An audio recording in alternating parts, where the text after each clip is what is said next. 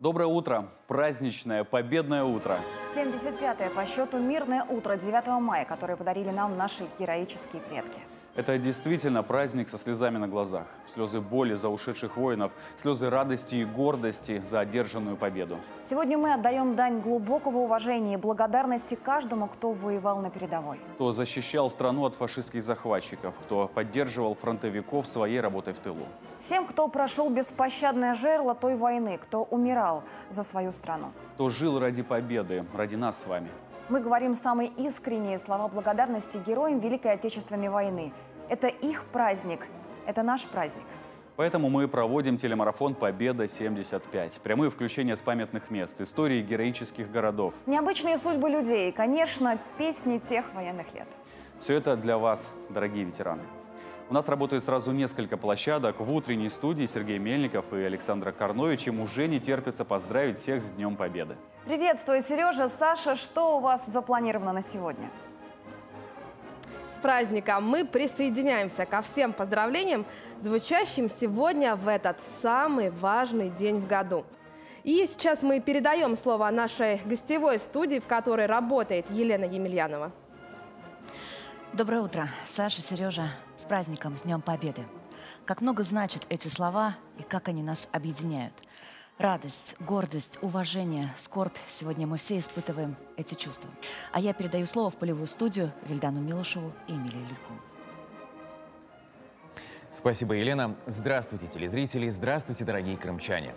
Мы рады приветствовать вас в этот праздничный юбилейный день Победы здесь, в нашей импровизированной полевой студии. Да, сегодня у нас в гостях будут творческие люди, певцы, музыканты, актеры театра и кино. Уверен, у каждого из них есть своя семейная история, связанная с Великой Победой. И мы очень надеемся, что сегодня в этой обстановке они ею с вами поделятся. И, конечно же, подарят нам свое творчество. Но мы передаем слово нашим коллегам из студии новостей Ане Мелиховой и Александру Мукарю. Спасибо, Эмилия и Вильдан. Наши группы работают также в крымских городах Севастополь, Ялта, Керчь, Евпатория – Симферополь уже готов с нами пообщаться. Марина Патрина несет вахту возле Вечного огня. Я поздравляю вас всех с Днем Победы. Мы находимся сейчас в парке имени Юрия Гагарина возле Вечного огня. Здесь сейчас пока малолюдно. Оно и понятно. Раннее утро и во-вторых, и в самых главных, очевидно, послушали президента и остались дома. Мы работаем здесь в течение всего марафона, в течение всего празднования телевизионного. И будем рассказывать и показывать, что же здесь происходит происходит. Мы будем передавать ту атмосферу, которая здесь царит, она непередаваема. Спасибо, Марина. Теперь узнаем об атмосфере в Евпатории. Анастасия Егорцева расскажет, как празднуют День Победы в городе-курорте. С праздником вас, коллеги, дорогие телезрители. Сейчас мы находимся на мемориале Красная Горка, который является сердцем нашего города, символ безмерной скорби и священной памяти горожан о земляках, погибших в годы Великой Отечественной войны. Теперь это братская могила. Ежегодно здесь собираются тысячи евпаторийцев, чтобы почтить доблесть и память наших героев и возложить цветы к подножью монумента скорбящей матери и вечному огню. Сейчас поговорим с Артемом Артеменко, он на Сапун-горе. Артем, доброе утро. Что запланировано сегодня в Севастополе? Город-герой Севастополь присоединяется к нашему телемарафону. Мы находимся на Сапун-горе, на историческом месте, где сегодня состоится торжественное возвращение вечного огня к обелиску славы. Спасибо Артему. Это был Артем Артеменко. Он работает в Севастополе. А сейчас узнаем, какая атмосфера в героической Керчи. Очень трепетно там готовились к 50-летию Победы. Подробнее об этом расскажет Светлана Ермильченко. Коллеги, я приветствую вас из города-героя Керчь, опаленная войной через Город четыре раза проходила линия фронта. Он дважды был оккупирован немецко-фашистскими захватчиками. Здесь десятки тысяч историй, но одна память и одна на всех победа. О том, как будут праздновать День Победы в южной столице полуострова, нам расскажет Лилия Виджат. Лиля, здравствуй. В каком формате праздник пройдет в Ялте? С праздником. Это главный мемориальный комплекс э, в Ялте. Именно сюда ежегодно приходят жители, чтобы сложить цветы и почтить память воинов минутой молчания. Конечно, в этом году в Ялте, как и по всей стране, э, великий праздник пройдет в особом режиме. Мы его отметим по-домашнему, в теплом семейном кругу. Спасибо, Лиля. Будем ждать от вас новых подробностей. Крымские города героически обороняли и также героически освобождали, один за другим. Под вражеским огнем с потерями, со скрежетом земли на зубах советские воины буквально вырвали эту победу у врага. Поэтому День Победы со слезами на глазах даже у правнуков ветеранов, в которых течет кровь героев. Поэтому мы гордимся знаменем Победы. Поэтому День 9 мая для нас так важен. Самое время поделиться этой радостью с утренней редакцией. Они с нетерпением ждут возможности также поздравить всю страну с Днем Победы. Сережа, Саша, передаем эстафету вам. Слова, которые вы сейчас услышите, они останутся на долгие годы не только в архивах телеканала, но и в вашей и в нашей памяти. После окончания девятого класса началась война. Я послал письмо, и мне меня зачислили в, э, в часть нашу. И в первое же время самое тяжелое у меня было переход от Кавказского побережья до Керчи по льду Черного моря.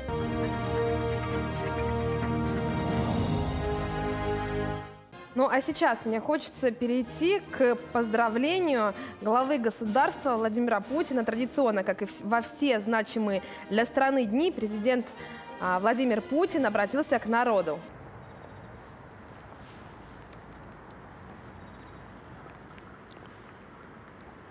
Уважаемые граждане России, уважаемые ветераны, дорогие друзья, от всего сердца поздравляю вас с Днем Победы. Для нас всех это самый главный, самый дорогой праздник. Мы всегда отмечаем его торжественно и всенародно. Все вместе. С праздником вас! С Днем Победы! Ура!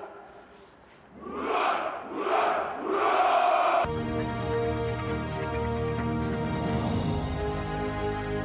И мы связались с коллегами из других регионов страны и предлагаем сейчас услышать журналистов из Липецка. Привет, Крым! Телеканал «Липецкое время» поздравляет вас с 75-летием Великой Победы. В этот праздничный день хочется пожелать всем мирного неба, ценить время и счастье каждого дня. Беречь свою родину, защищать родных и не забывать о подвиге тех, кто ради нас отдавал свои жизни.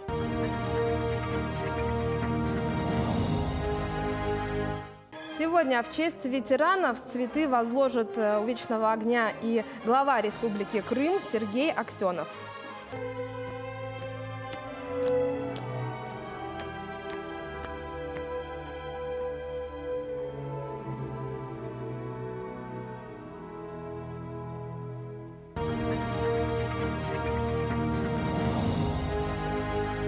В нашей студии очередной гость – это Артур Айвазян, олимпийский чемпион по пулевой стрельбе. Доброе утро, с победой вас. И вы пришли к нам с портретами. Расскажите. Да, доброе утро, поздравляю всех с этим светлым праздником. Это действительно, наверное, один из самых величайших праздников. И э, фраза «со слезами на глазах», наверное, лучше не придумать определение к этому празднику. Я пришел с портретами, мы э, с женой э, участвуем в бессмертном полку вот каждый год. И эти портреты, они всегда вот вместе. Это родственники со стороны жены, а это мои дедушка и бабушка. Мы передаем слово гостевой студии. Там сейчас работает Елена Емельянова. У нее в гостях Сергей Аксенов, и она продолжит наш телемарафон. Да, коллеги, наш праздничный телемарафон «Победа 75» продолжается. История и память в каждой семье. Это не прошлое, а настоящее. То, чем мы живем сейчас и помним. У нас в студии Сергей Аксенов, глава Республики Крым. Сергей Валерьевич, здравствуйте. Здравствуйте. С праздником, с Днем Победы вас. Всех крымчан еще раз, всех с праздником. Великий праздник, на самом деле. Вот всем э, ветеранам, всем участникам боевых действий, труженикам тыла, всем, кто имел отношение к этой великой победе. Слова уважения, благодарности, вечная память тем, кто не вернулся, конечно. Царствие Небесное, помним их всегда, уважаем, ценим эту память. дорожим ей. Ну а тем, кто живой, конечно, надо максимальное внимание вот, уделить с тем, чтобы они долго еще радовали нас, своих близких. Вообще, и действительно, это живая история, живая легенда. Вот сегодня встречаешь ветеранов, и вся грудь в орденах, иконостас целый. И вот на самом деле за каждым орденом это же э, боевые какие-то случаи. Это История. на самом деле, да, риск для жизни. Вот это такая самоотверженность, ну, полная самоотдача для того, чтобы выполнить поставленные руководством страны на тот момент задачи. Поэтому великая победа, всех с праздником, с большим уважением.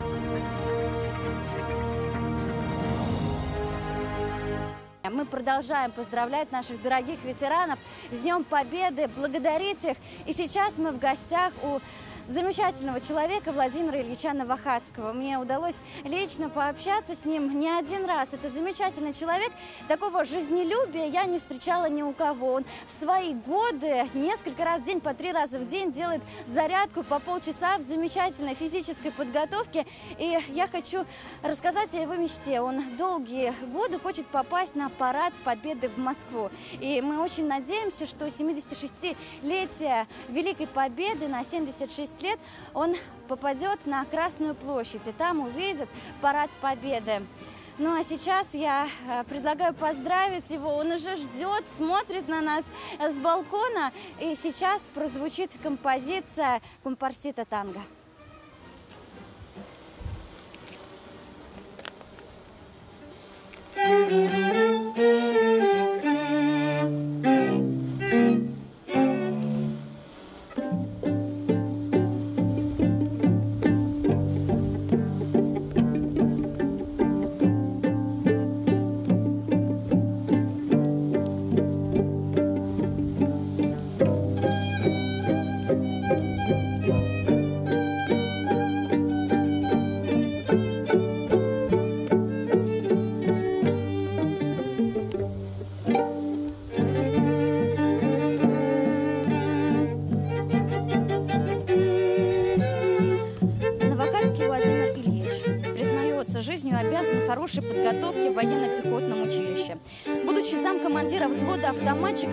Защищал родину в танковой бригаде. Владимир Ильич рассказывал, порой приходилось стрелять из пулемета так много, что оружие накалялось и начинали гореть рукава шинели. Вспоминает и один из самых страшных боев – взятие Сандомирского плацдарма.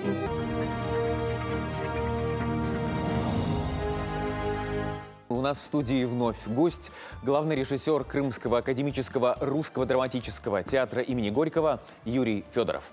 Рояль вползал в каменоломню. Его тащили на дрова к замерзшим чанам и половням. Он ждал удара топора. Он был без ножек, черный ящик – лежал на брюхе и гудел. Он тяжело дышал, как ящер в пещерном логове людей. А пальцы вспухшие олели. На левой два, на правой пять. Он опускался на колени, чтобы до клавишей достать. Семь пальцев бывшего завклуба, и обморожена суха, с них, как с разваренного клубня, дымясь, сползала шелуха. Металась пламенем сполошным их красота, их божество, и было величайшей ложью все, что игралось до него.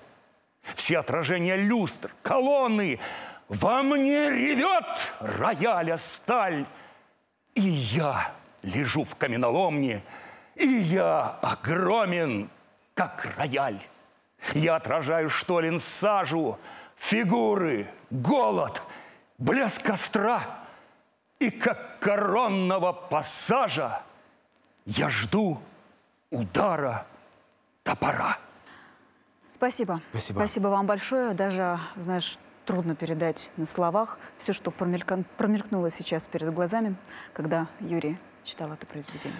Спасибо большое еще раз. Друзья, напоминаю, что у нас в студии был Юрий Федоров. А наши коллеги сняли сюжет об аджмушкайских каменоломнях. Именно этим сюжетом продолжается наш победный телемарафон.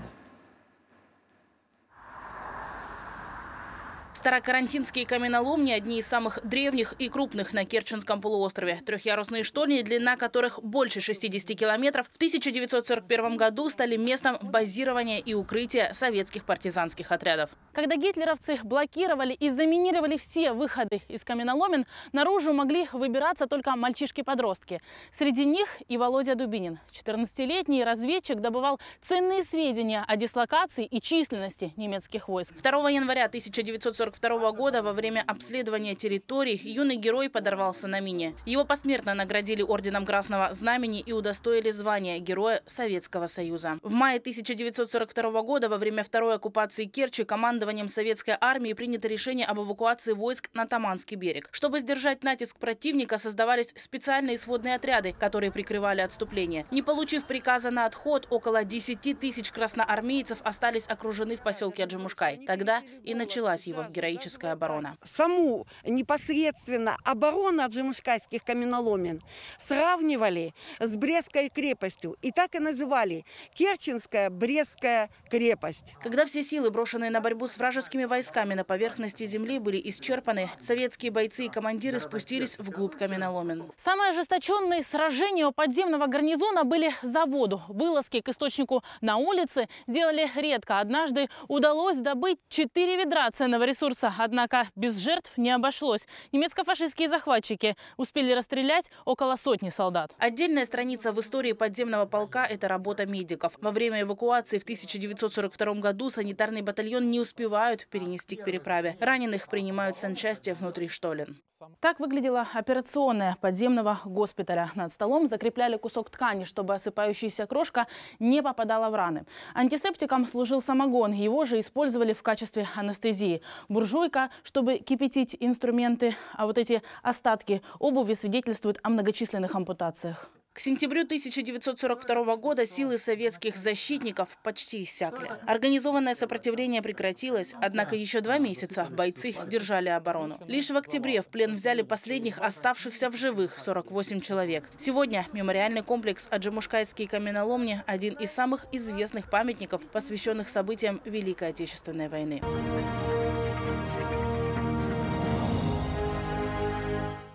Но один из ветеранов все-таки решил сам к нам прийти, и мы не можем с ним не пообщаться. Это Николай Петрович Телейник. Что Здравствуйте, это? мы с вами в эфире, и вы пришли, чтобы поздравить, наверное, сослуживцев, ветеранов с Великой Победой, с юбилеем Победы. Да. Что бы вы хотели им сказать? Сейчас начинать? Сейчас, мы уже в эфире с вами в прямом. Дорогие сограждане, крымчане, уважаемые гости, участники Великой Отечественной войны, партизаны, труженики тыла и дети войны. Сегодня мы отмечаем 75-ю годовщину, а это 1418 дней и ночей. Такой был подвиг Великой Победе.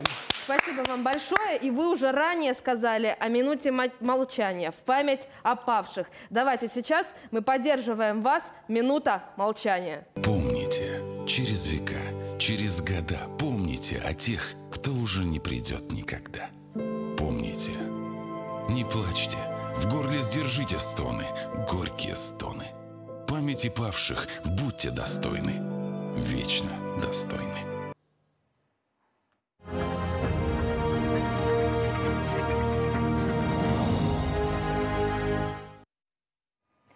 Праздничный телемарафон продолжается. Мы работаем сегодня в разных регионах Крыма и сейчас на очереди Симферополь. И точно так же в разных регионах Крыма и всей большой страны проходят как традиционные акции, правда, некоторые перекочевали в онлайн-формат, так и э, новые мероприятия, как, например, «Окно Победы». Э, подробнее об этом мероприятии, которое проходит по всем крымским городам, в частности в Симферополе, расскажет Елена Байрамова.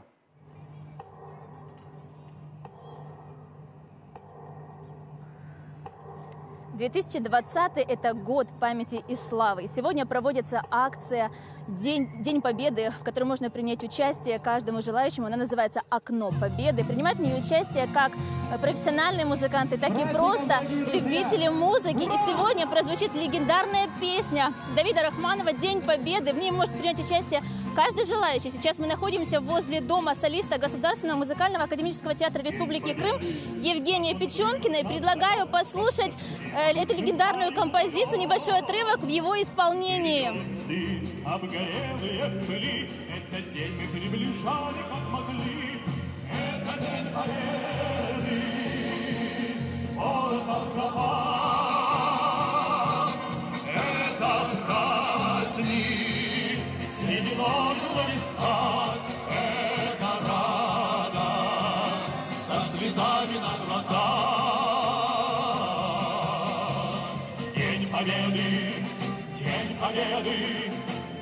победы.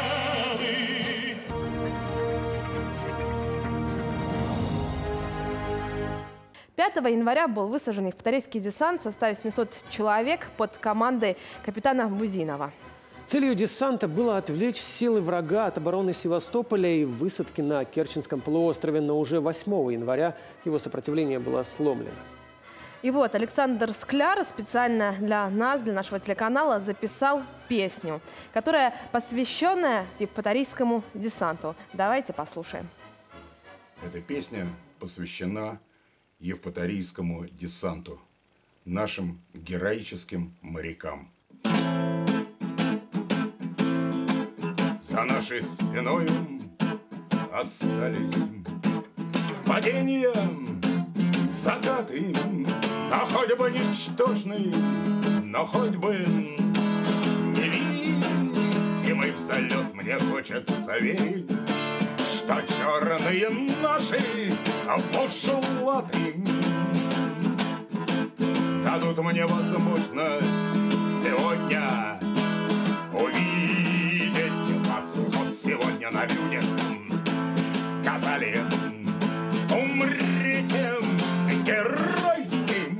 попробуем, ладно, увидим, какой оборот я только подумал чужие куря а папироски.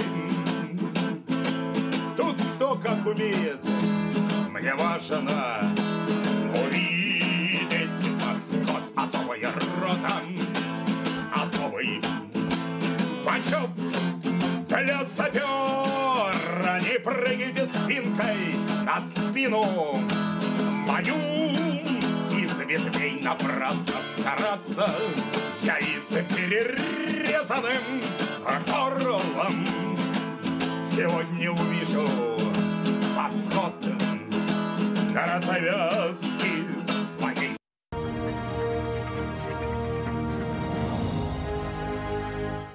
Вы вновь перенеслись в нашу полевую студию.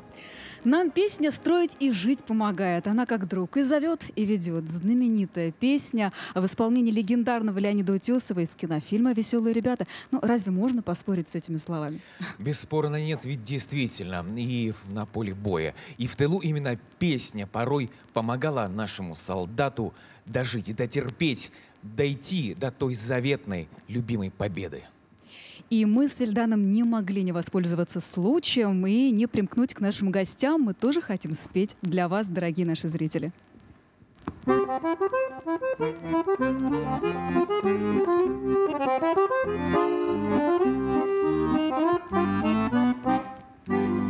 Расцвета яблони, груши поплыли туманы над рекой.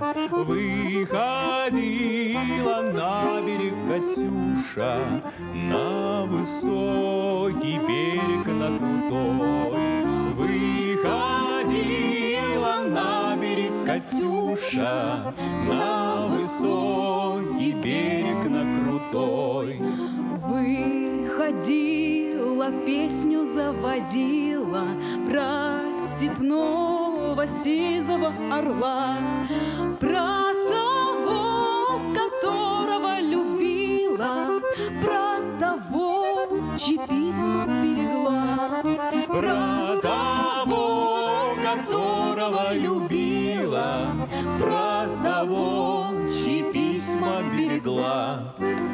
Ой, ты песня, песенка девичья, ты лети на ясным солнцем вслед, и бойцу на дальнем пограничье от Катюши передай привет. И бойцу на дальнем пограничье от Катюши передай привет.